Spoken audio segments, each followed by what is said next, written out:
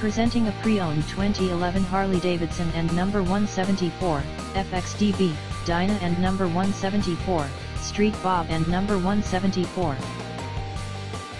This motorcycle has an engine. This Harley-Davidson and number 174, is a great value with less than 31,000 miles on the odometer.